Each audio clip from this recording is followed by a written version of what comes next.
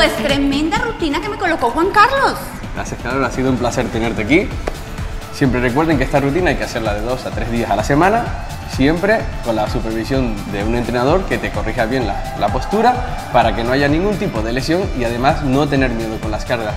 ¿Vale? Eso nos va a dar un aumento más de la masa muscular, tanto en glúteos como en femorales.